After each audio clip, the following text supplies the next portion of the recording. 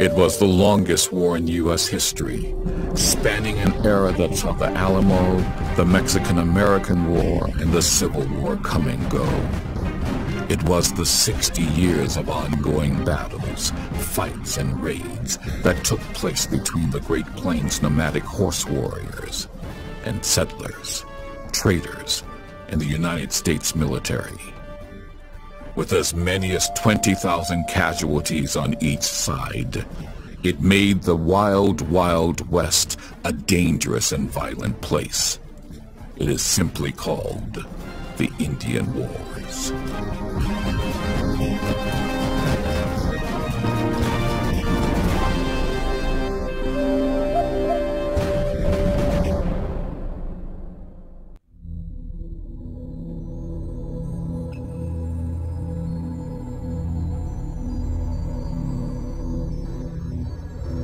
People have occupied the Americas for perhaps as long as 40,000 years. Over these years, they have created great civilizations equaling any found in Europe, Asia, and Africa. In North America, Paleo-Indians hunted the mammoths and mastodons.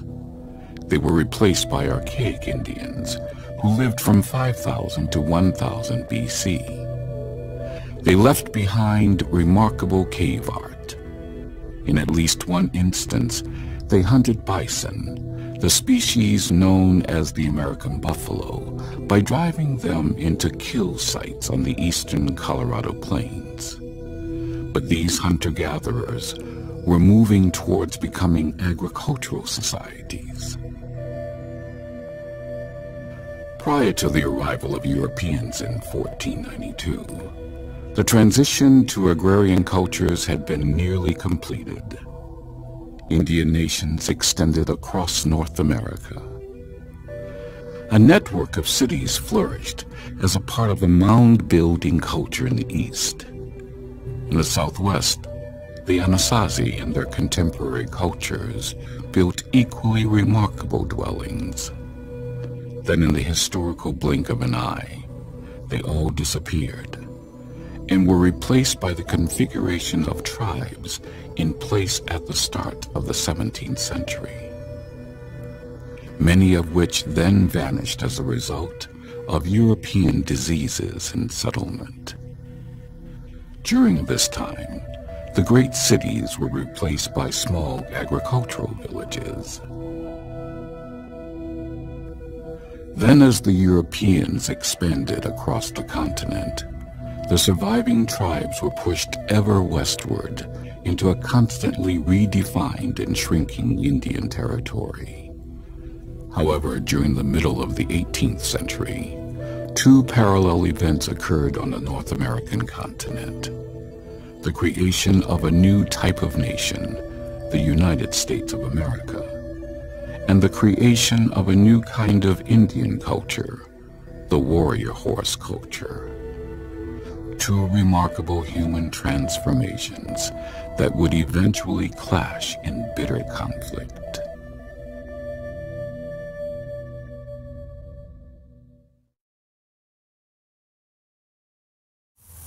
Two large mammal species played an equally critical role in creating the remarkable Plains Indians culture. One was the horse, an animal brought to the New World by the Europeans. The other, a member of the cattle family, was the American buffalo, indigenous to the continent. The American buffalo can trace its ancestry back to the Pleistocene era, when its relatives roamed among the mastodons, mammoths, giant wolves, and lions. In fact, the buffalo is the lone survivor from that ancient time. A herd animal, the buffalo is covered with long, dark brown, woolly hair. It has a massive head, high humped shoulders, and a tufted tail. Fully grown, buffaloes are five to six feet high at the shoulders and can weigh as much as a ton. Like other members of the cattle family, they thrive on grasses. Prior to the 1800s, it is estimated that the buffalo population ranged somewhere between 60 to 80 million. They were found wherever prairie grasses grew, from Canada to Texas, and from the Rockies to Ohio and Kentucky.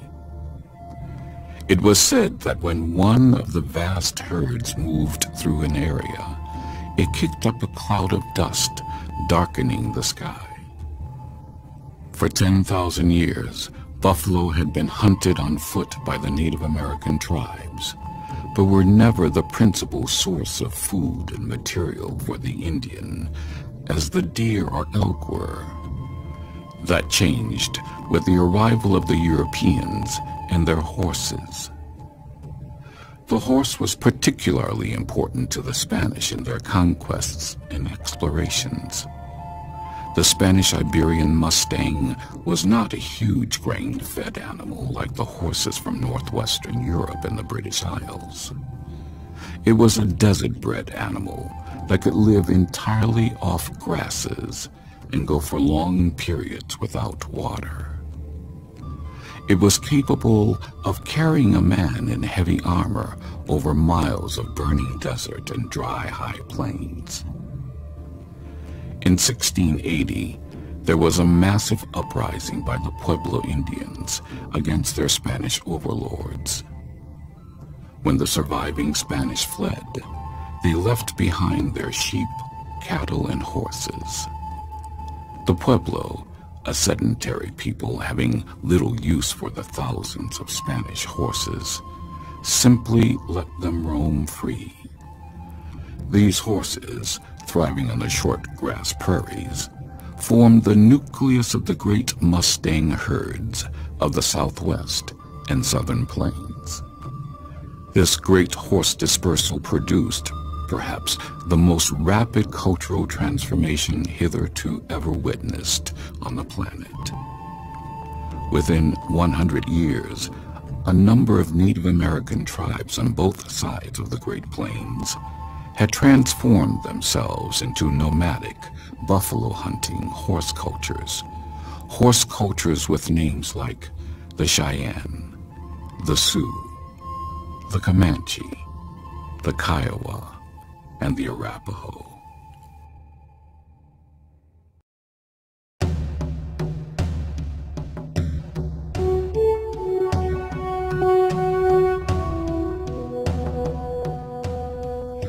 100 years after the Great Horse Dispersal started, most of the remaining North American tribes had horses. But only a few tried the grand economic experiment of developing a true nomadic horse culture.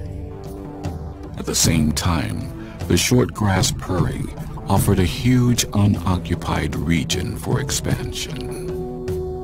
While unfit for permanent settlement, it was ideal for any group that moved easily with the wanderings of the millions of buffalo.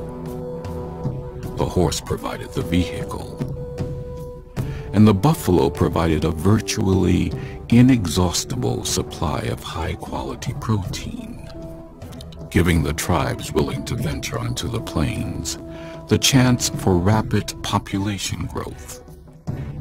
Each of these tribes has a unique story of its transformation into a horse culture. The why has long been lost, but the journey has been recorded. Looking at the Great Plains as a sea of prairie grass, all the eventual nomadic tribes started in the north, three from the eastern shore and four from the western shore.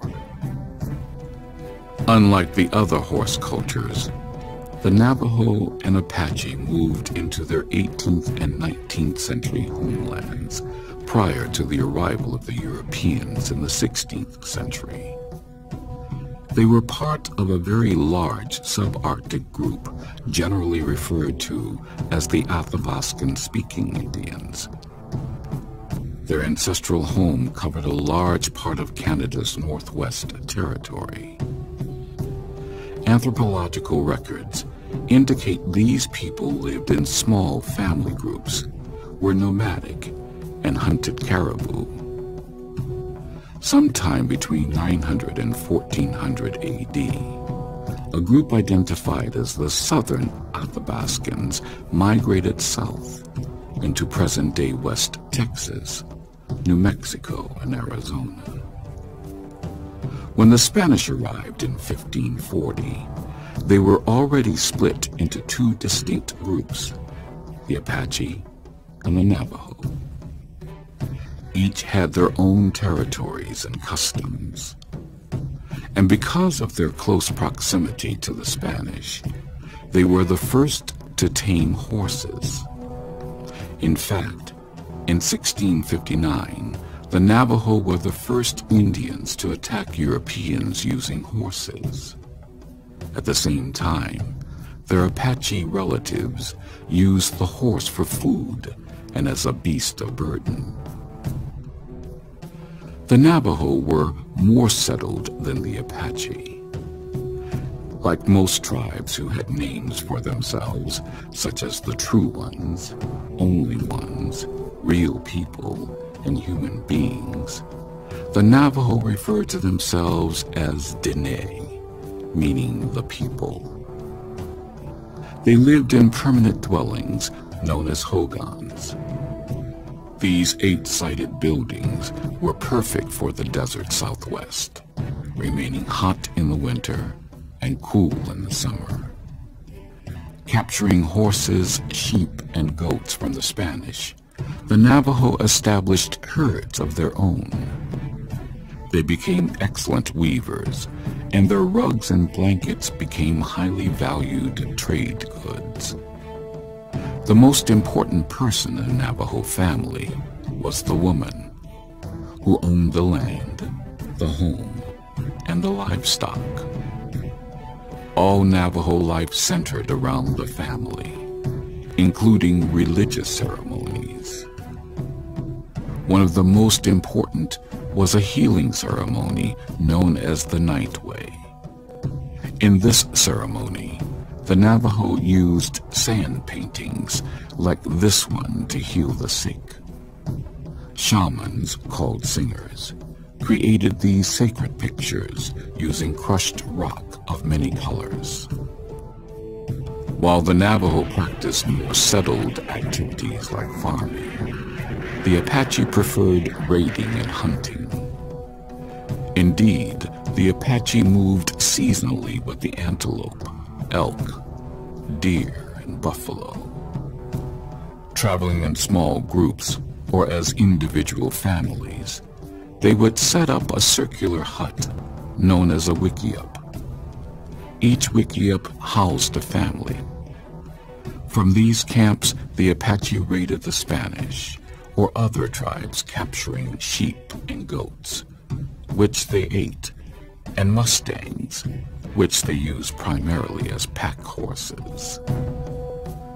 The Apache, though they numbered less than 5,000, were among the most warlike of the Indians and had long-running feuds with almost every other tribe of the southern plains and desert southwest. They formed no religious institutions, but looked for spirituality in everyday life. The famous Chiricahua leader, Geronimo, who was also a healer, explained, We had no churches, no Sabbath day, no holidays, and yet we worshipped. Sometimes the whole tribe would assemble to sing and pray. Sometimes in a smaller number, perhaps only two or three. Sometimes an aged person prayed for all of us. Unlike later arrivals to the plains, neither the Apache nor the Navajo formed any significant military alliances with other tribes.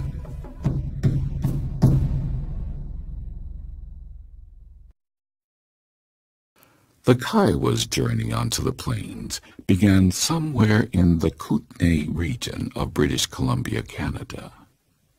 From there, they migrated into western Montana in the 1600s. Around 1700, they reached the Yellowstone River area. Ten years later, after acquiring the horse from the Crow, they found a home in South Dakota's Black Hills. Very quickly, the Cheyenne and the Sioux drove them from this home. Again, they moved south, where they fought a bloody war with the Comanche. However, by the beginning of the 19th century, the Kiowa formed a strong military alliance with their former adversary. This alliance was at the center of the battle for the Southern Plains. Their language is believed to be part of the Aztec Tanoan linguistic stock. It is a language grouping spoken by many Mexican Indians. Like all the nomadic Indian nations, the twin centers of Kiowa life were hunting and war. Though small in numbers, the Kiowa were known for their exceptional bravery, strict military organization, and strong warrior societies. The Kiowa were also known for their incredible storytelling pictographs. Indeed, they came very close to developing a written language. Much history of the Indian Wars comes from their pictographic records written on buffalo hides as a kind of yearly calendar. Another nation, later called the Kiowa Apache, accompanied the Kiowa as they migrated south. Though unrelated genealogically to either the Kiowa or Apache, they had the cultural traits of the Kiowa and spoke an Athabascan-based language like the Apache, hence the Kiowa Apache designation.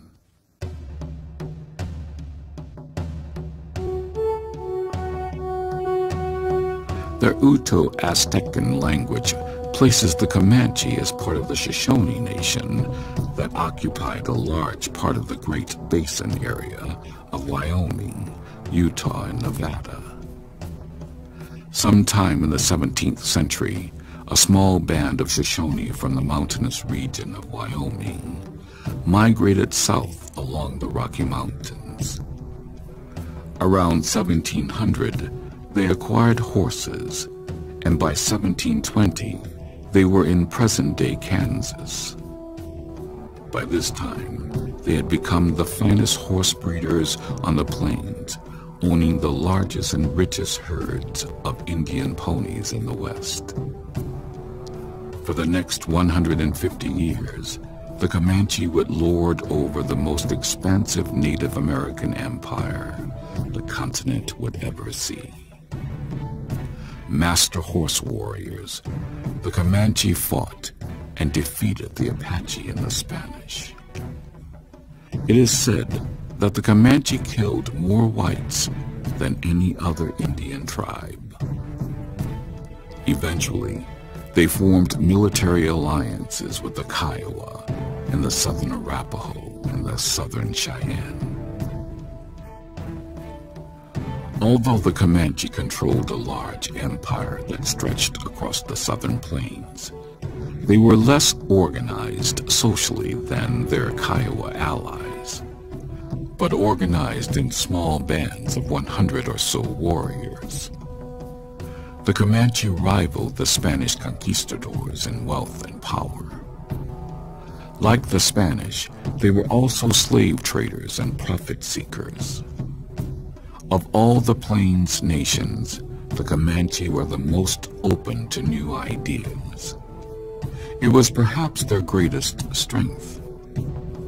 According to historians Joseph Cash and Gerald Wolff in their book The Comanche People, the Comanche, by bringing in captives from so many different groups, kept their nation vigorous and far-seeing.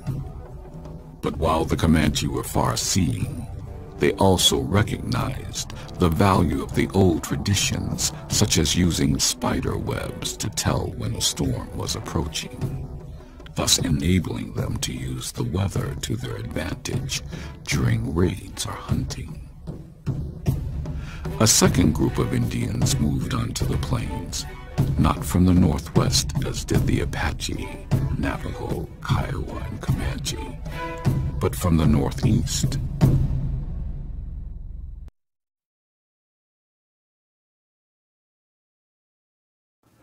At one time, both the Cheyenne and Arapaho were part of a large village-dwelling group of Indian nations known as the woodland culture that lived in the upper Great Lakes region of the United States.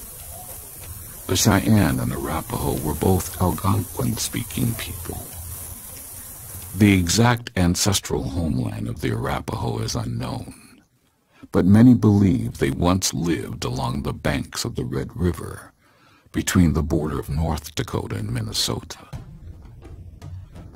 Sometime in the 1700s, the Arapaho arrived near the headwaters of the Missouri River.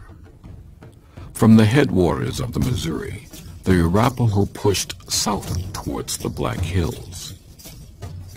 Though they made a military and economic alliance with the Cheyenne, they warred with the rest of the Plains tribes, including the Sioux, Pawnee, Comanche, and the Shoshone. In fact, it was by stealing their horses that the Arapaho became a full-fledged horse culture. The Arapaho practiced and perhaps originated the sun dance, an annual event the sun dance was a test of endurance for the participants, as they had to dance and perform rituals for days, often staring into the sun. While the Arapaho were fierce fighters, they were known more for their welcoming ways than their warlike nature. This characteristic stemmed from their form of government which used consensus to make decisions for the tribe.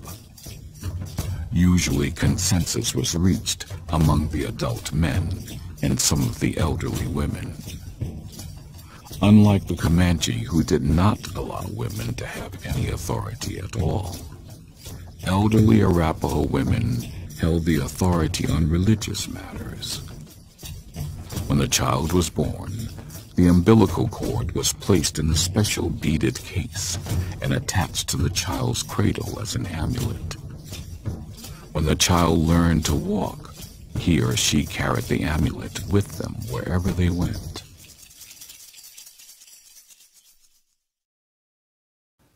The first historical record of the Cheyenne was in 1680, when a group of Cheyenne encountered the French explorer La Salle in present-day Illinois. Shortly after this encounter, the Cheyenne moved westward, separating from their woodland neighbors. Still living in permanent villages, they farmed along the Missouri River in North and South Dakota during the mid-1700s. But at century's end, they had lost the corn, as their legend told, and became a true nomadic horse culture. For a brief period, they occupied the Black Hills, only to be pushed out by the Sioux. Perhaps the most important Cheyenne ceremony was the medicine arrow rite, also known as the arrow renewal ceremony. At the end of spring, the Cheyenne arranged their teepees in a crescent with a great medicine lodge at its center. Then, for four days, the entire tribe concentrated on renewing the power of their weapons through four sacred arrows, which were thought to have supernatural power over men and buffalo. In the 1830s, some Cheyenne and Arapaho gravitated to the trading post at Bent's Fort on the Arkansas River while others preferred to trade on the Missouri and Platte. The two groups eventually made an informal division. Eventually, the Northern Cheyenne and Arapaho would ally themselves with the Sioux in a battle for the Northern Plains, and the Southern Cheyenne and Arapaho would align themselves with the Kiowa and the Comanche in the battle for the Southern Plains. It has been said that no tribe suffered more during the Indian Wars than the Cheyenne.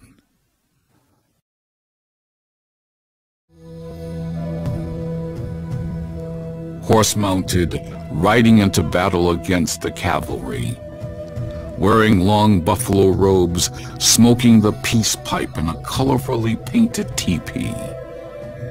For most Americans today, these are the images of what the American Indian was like.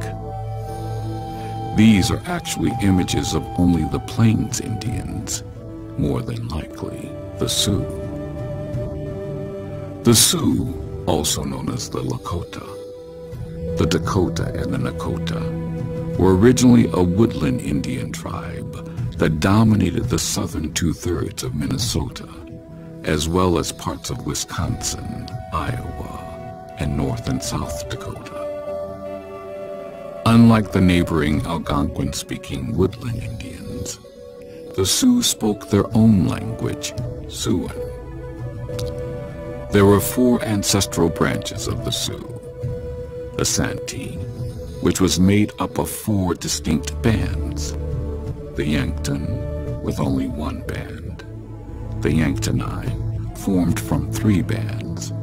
And the largest and best known branch of the Sioux, the Teton, also known as the Lakota. It included the Ogallala Band, the Brule, the Hunkpapa, the Miniconjou, and three lesser-known bands.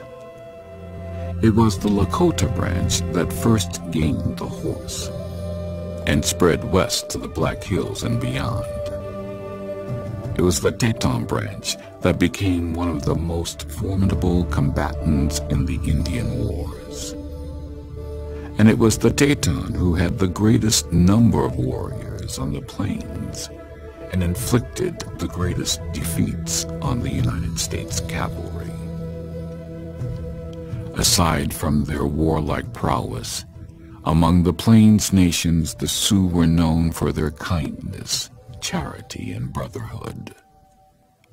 Each Plains nation had its own creation myth and its own sacred person or spirit who came to earth and gave it the traditions necessary for a healthy life. According to Sioux legend, a white buffalo maiden came to them bearing a pipe and instructions on how to live. The pipe represented the covenant between the Sioux and the buffalo. Like the Kiowa, the Sioux kept a pictographic record of their history known as the Winter Count. Drawn on buffalo skins, it recorded the momentous events of the year with a single picture. Three other tribes became expert horsemen living at the edges of the Great Plains. They were the Crow, the Blackfeet, and the Pawnee. While they participated in the Indian Wars, they never developed a true nomadic lifestyle. By the start of the sustained fighting that culminated in the final phase of the Indian Wars, the Plains Indian tribes had settled into stable territories. By this time, the seven tribes, while retaining a number of distinctive features such as language, shared many customs and ways derived from becoming nomadic buffalo hunting, horse-oriented cultures.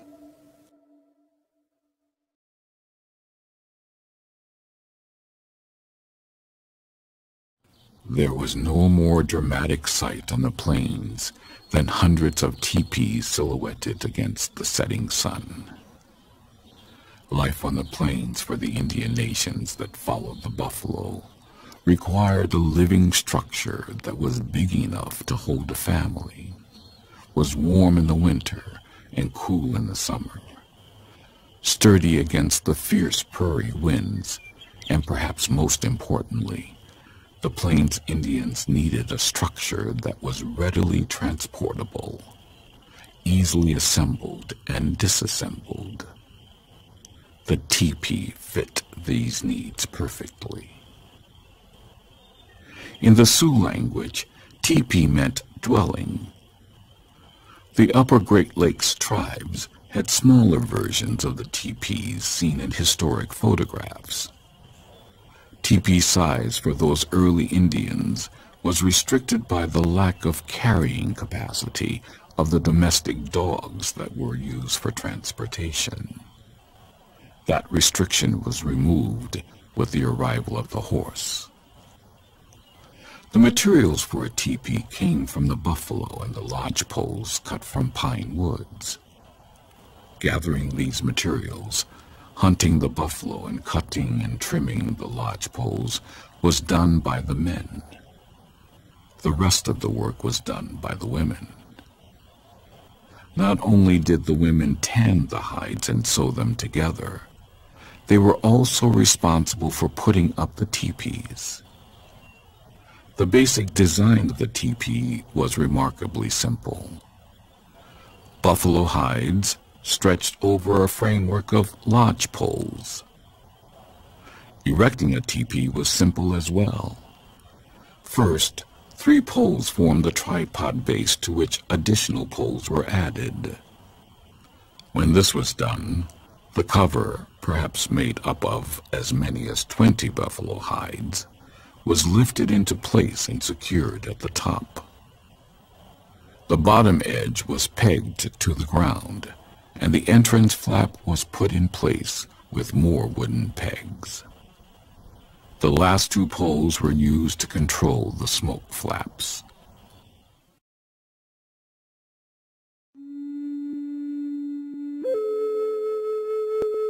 The unexpected sight of even a lone warrior appearing at the horizon struck fear in the hearts of travelers and cavalry soldiers alike. The paintings on his horse and the number of feathers in his hair showed how powerful a fighter he was.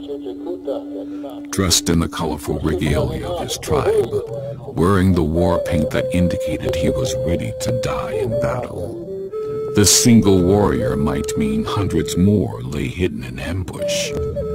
Or he might just want to trade. Like the teepee, whose shape was both practical and symbolic, so were the Indians' clothes. In summer, the breechclout and simple leggings were perfect for the desert-like heat of the plains. In winter, the heavy fur and tough hide of the buffalo kept him warm in even the most frigid conditions. The markings on his clothing indicated which tribe he was from and his prowess as a warrior. The animal skins used to make his garments showed which spirit guides he looked to for personal power. While a warrior took the utmost care with his appearance when on a raid, it was the women who made all the clothing for the family. The buffalo, the all-purpose beast of the plains, was the source of most clothing. Deer and antelope also provided skins for garments. As trade with the white man increased, factory-made cloth, blankets, and even boots were used by the Plains Indians.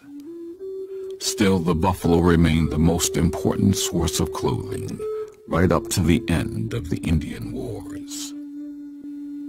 The buffalo's tough hide was used to make robes, caps, moccasins, leggings, mittens, coats, and dresses.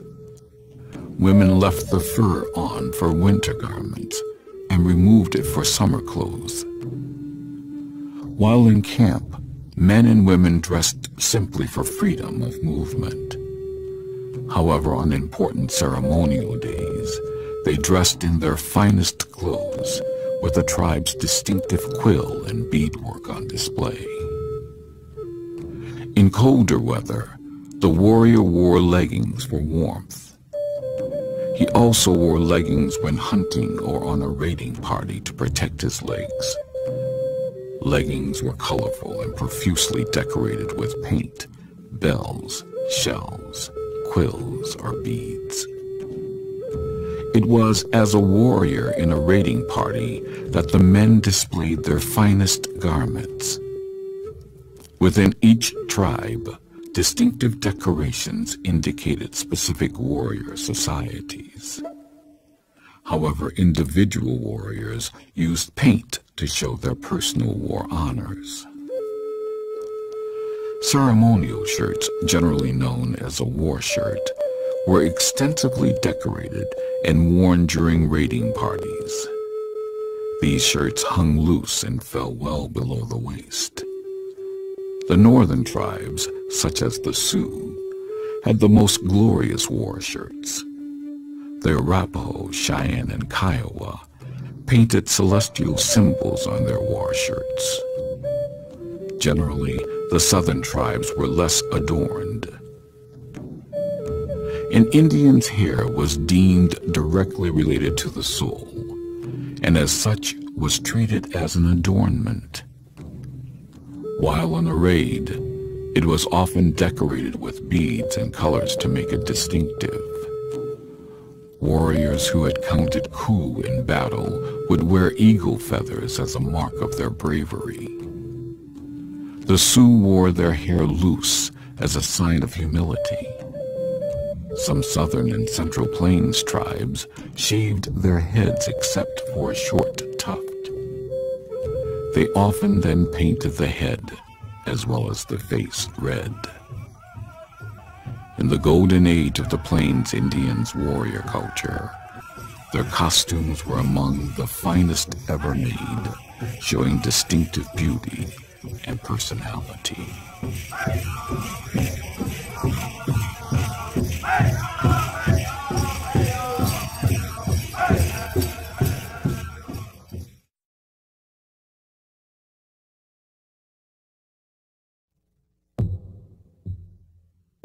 It was the well-ordered social structure of the seven Indian nations that enabled them to thrive in the harsh environment of the plains and desert, and battle the U.S. military to a standstill for nearly 40 years. It was a social structure that was organized into groupings within groupings. At its base was the family. The next largest group was the extended family called a clan. After the clans came camps or villages. A camp could be made up of a single clan, or a band, which consisted of multiple clans. Sometimes these clans would be related by marriage, and sometimes not. Villages in turn were spread out over a tribe's territory. Depending upon the time of year, the village could be as small as 20 or fewer people, or large enough to stretch along a river for 15 miles. Life in camp revolved around the teepee. Women did all of the tasks that made the household run. They collected firewood and cooked meals, gathered suitable roots and fruits, scraped buffalo and antelope hides, prepared buffalo meat for drying, and made all the clothing from moccasins to breeches. The women took care of the children until five or six years of age, often nursing them for the whole time. At that point, young boys went to help their fathers with the pony herds. And young girls followed their mothers, learning what it meant to be a good wife and mother. But while seemingly engaged in menial tasks, women were not considered servants. They had their role and scorned men's help. The man was the head of the household. His job was to hunt and fight, tasks that inevitably took their toll. So much so that there were many more women than there were men in a typical clan. The result was tribes practiced polygamy, and a man, if he survived the hunt and battle, could have several wives in order to maintain population numbers of a clan at a functional level. In fact, clans and bands operated with a great deal of independence, particularly when it came to interactions with other Indians and whites. Because Indian nations were spread out over a large area, it was important to have events that brought them together to solidify their tribal and band identity, and to plan tribal and band activities such as warfare. These events took the form of ceremonies, feasts, and dances. For example, celebrations meant huge bonfires, drumming and dancing far into the night. During summer encampments, bonfires might go on for weeks at a time as the entire community gathered to witness feats of daring through the dance steps of the participants. The throbbing of the drum and the movement of the dances celebrated victories, hunts, marriages, planting seasons, and harvests. Indians had a song for every event, from odes to a warrior's horse to a death song that he might sing during a battle. It was all part of their own unique religion.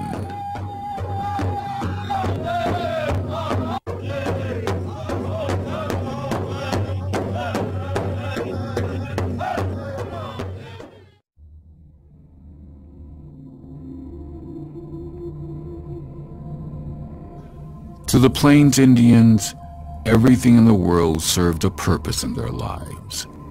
The sun, the mountains, the animals, the rivers, the trees. Everything in a warrior's natural environment had a connection to the Creator, and therefore was filled with its own mysterious force. God, or the Creator, or the Great Spirit, was not separate from the earth. This meant everything was sacred. The many rituals and ceremonies of the tribe connected its members to the earth and everything in it, as well as to the creator of all things. As a result, the Plains Indians believed that they could, through ritual, directly connect and participate with God of the spirit world. The most important ritual for every warrior was the vision quest. The quest lasted from two to four days and included fasting, staying awake, and crying for help from the spirits.